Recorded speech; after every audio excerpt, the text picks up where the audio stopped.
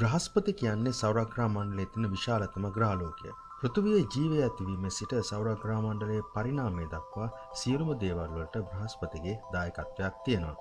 අපි මේ වීඩියෝ එකෙන් බ්‍රහස්පති ගැන විමසා බලමු. ඒ සඳහා මුලින්ම අපි බ්‍රහස්පති ගැන තොරතුරු අධ්‍යයනය කරලා ඉමු.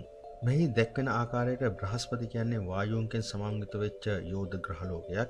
ඒවට අපි ගෑස් ජයන්ට්ස් කියලාත් කියනවා. මේ විශ්කම්භය කිලෝමීටර් 1,40,000ක් පවුන වෙනවා.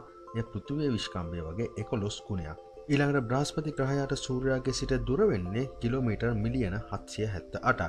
උදාහරණයක් වශයෙන් ගත්තොත් පෘථිවියේ සිට සූර්යාට ඇති දුර වෙන්නේ කිලෝමීටර් මිලියන 150ක් පමණයි. සූර්යාගේ සිට මෙච්චර දුරකින් පිටලා තියෙන බ්‍රහස්පති සූර්යා වටා එක් වටයක් යාමට අවුරුදු 11.8ක කාලයක් ගත කරනවා. බ්‍රහස්පතිගේ ස්කන්ධය දිහා බැලුවොතින් ඒ පෘථිවියේ ස්කන්ධයෙන් 122 ගුණයක් වෙනවා.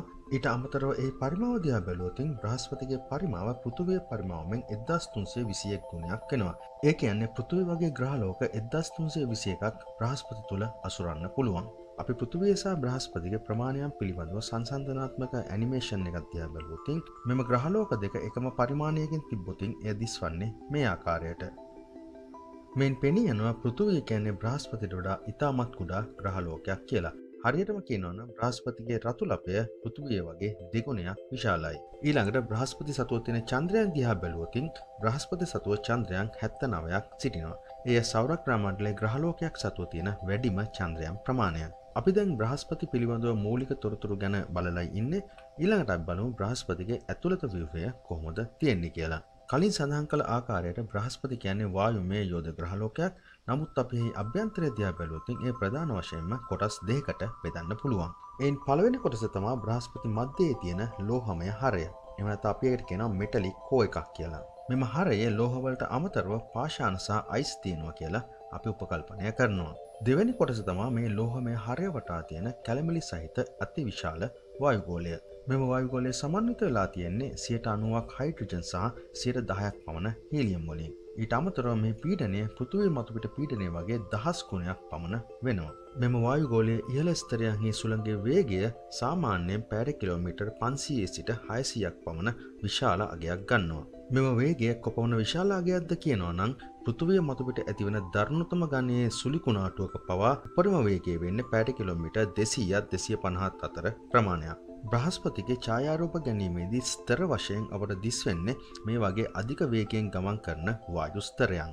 බ්‍රහස්පති සම්බන්ධව තවත් විශේෂතම දෙයක් වෙන්නේ ඒ පෘෂ්ඨය මත දක්නට ලැබෙන අති විශාල රතු ලපය.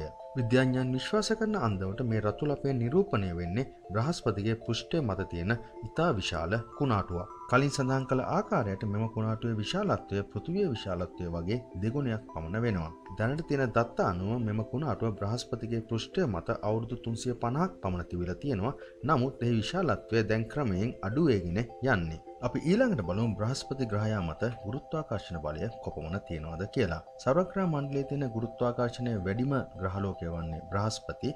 එය පෘථිවිය ගුරුත්වාකර්ෂණ බලය වගේ 2.4ක ගුණයක් වෙනවා. උදාහරණයක් වශයෙන් පෘථිවිය මත කිලෝග්‍රෑම් 100ක් බර මිනිසකු බ්‍රහස්පති මතදී කිලෝග්‍රෑම් 240ක් බර වෙනවා.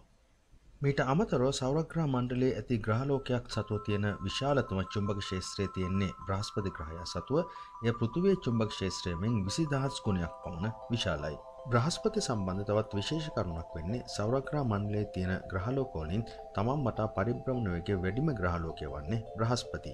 ඒ කියන්නේ බ්‍රහස්පති පැය 10ක් පමණ සුළු කාලයක් ඇතුළතදී තමා වටා පරිභ්‍රමණය වෙනවා. එයින් අදහස් වෙන්නේ බ්‍රහස්පති මත දිනයක් පැය දහයක් පමණ වන බව. අවසානයට අපි බ්‍රහස්පතිගේ චන්ද්‍රයන් දිහා අවධානය යොමු කරමු. බ්‍රහස්පති වටා ගමන් කරන ප්‍රධාන චන්ද්‍රයන් හතරක් තියෙනවා. මේ දක්වා තිබෙන්නේ එම චන්ද්‍රයන් හතර. එම් ප්‍රධානම චන්ද්‍රය වන්නේ ගැනිමීඩ්, ඊට පස්සේ කැලිස්ටෝ, අයෝ සහ යුරෝපා. ගැලිලියෝ ගැලිලි විසින් 1600 ගණන් වලදී මෙම චන්ද්‍රයන් හතර දෙනා පෘථිවිය සිට නිරීක්ෂණය කළා.